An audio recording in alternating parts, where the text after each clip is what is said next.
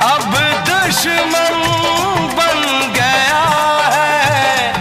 मेरा दोस्त वो पुराना बदल गई है ये दुनिया।